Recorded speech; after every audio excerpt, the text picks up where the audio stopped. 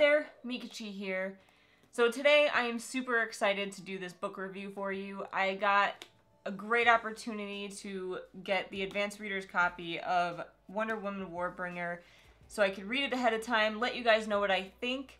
And not to mention there's huge hype going on right now because the movie comes out this weekend, which is super exciting. So I kind of wanted to know more about Wonder Woman before I went and saw that movie.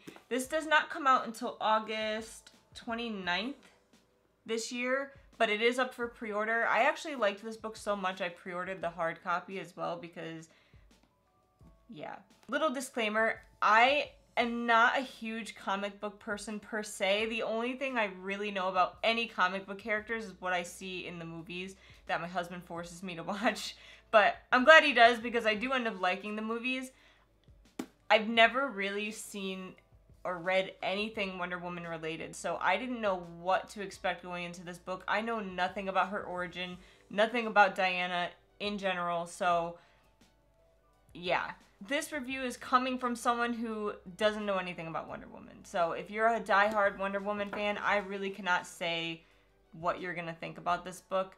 But from my perspective, I really loved it. I ended up giving it a 5 out of 5 stars, which is crazy because I don't give a lot of things that, but I really can't fault this book for anything. So I actually think DC is doing something really cool. They're teaming up with a bunch of young adult authors to create characters that you know, maybe people like me who don't know anything about them might get into them.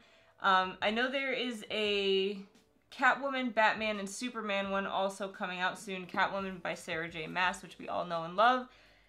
But yeah, it should be interesting, and I really hope that they expand on this story because I did enjoy it so much. Going into this book, I'd say it's more of a coming of age story for Diana and not so much an origin story because it's not really how she becomes Wonder Woman. It actually occurs before that. It's a tale about the first time she leaves her home island of Themyscira and why she chooses to do so. It's really a story of her learning her own strengths and weaknesses because she's never really tested them. She's only been around people on the island and never really interacted with the human world, so she really doesn't know how awesome and cool she really is. She ends up making some big decisions in this book, and you get to see whether they were good or bad.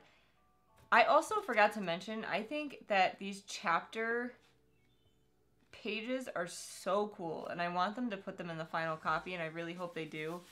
Like this page, like if the chapter starts on this page, it has that part of the W, but if it's on the other page, you get the other side. So I thought that was really neat. So besides Diana, which I did end up really loving as a character, I feel like there were some really cool other characters in this book. They were very diverse, they had a lot of character development.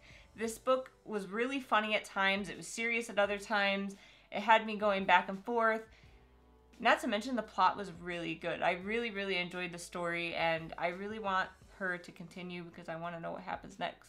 I think Leigh Bardugo gave Wonder Woman a very good origin story or coming of age story. And if you guys are a fan of her work or DC in general or Wonder Woman, you should pick it up and check it out yourself. So we will leave our Amazon link down below if you guys do want to pre-order it. Leave me a comment. Let me know if you're looking forward to this book or if you're looking forward to the movie. If you're a Wonder Woman fan, anything Wonder Woman related, feel free to leave me down below. I do have a Goodreads page as well if you want to check that out. I did a full review on this book. I do other reviews on that as well. We will leave the link for you down below. I do keep up with it pretty well, so if you want to know what I'm reading, when I'm reading, how far I am, I do update it quite often. So check that out. So thank you guys for watching. Don't forget to like if you liked it. Don't forget to subscribe if you liked it. And I will see you guys next time.